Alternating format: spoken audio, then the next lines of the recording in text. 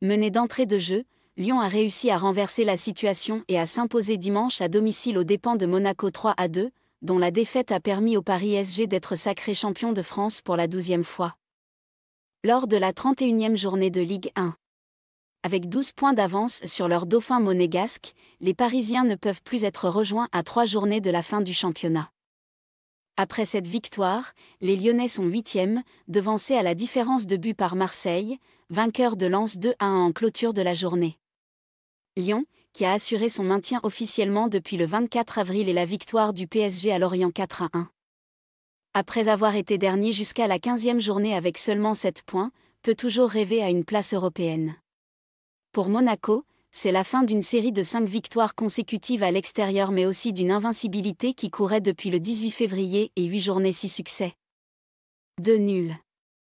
L'OSM reste dauphin du PSG, occupant la deuxième place directement qualificative pour la Ligue des Champions, son objectif mais ne compte plus que deux longueurs d'avance sur Brest 3 et 3 sur Lille 4 qui recevra les Lyonnais.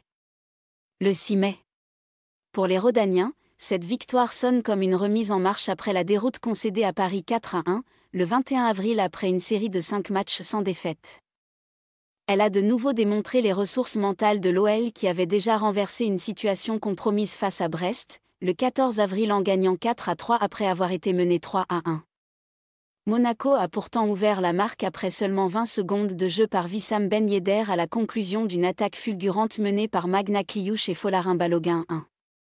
Ben Yedder a ensuite redonné l'avantage à son équipe en reprenant de la tête un centre délivré par Youssouf Fofana en seconde période 2 à 2, 60. Car entre-temps, l'OL s'était mis enfin dans la partie après avoir subi la domination monégasque. Alexandre Lacazette a égalisé 1 à 1 dès la 22e minute en reprenant un centre délivré de l'aile gauche par Saïd Benrama avant que ce dernier, 4 minutes plus tard, ne reprenne à son tour un centre adressé du côté droit par Clinton Mata 2 à 1. 26. À ce moment du match, Monaco avait perdu le contrôle du jeu.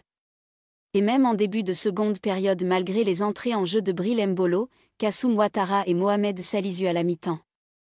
Sur un nouveau centre de Mata, la casette a encore manqué le cadre de peu 54 avant d'être trop court pour reprendre une passe de Ryan Cherki à peine entré sur le terrain 66. Celui-ci a raté le cadre à bout portant après un centre de Malik Fofana 72.